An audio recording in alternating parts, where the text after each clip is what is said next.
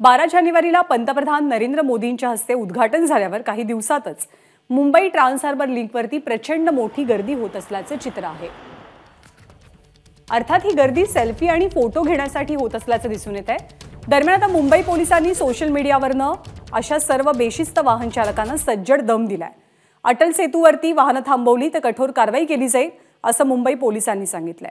अटल सेतू हा काही picnic spot नाही आम्ही या गोष्टीशी सहमत आहोत की अटल सेतू नक्कीच प्रत्येकाला पाहायचा आहे अनुभवायचा आहे.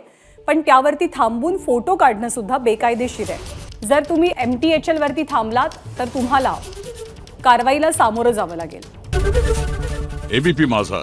उघडा डोळे बघा नीट.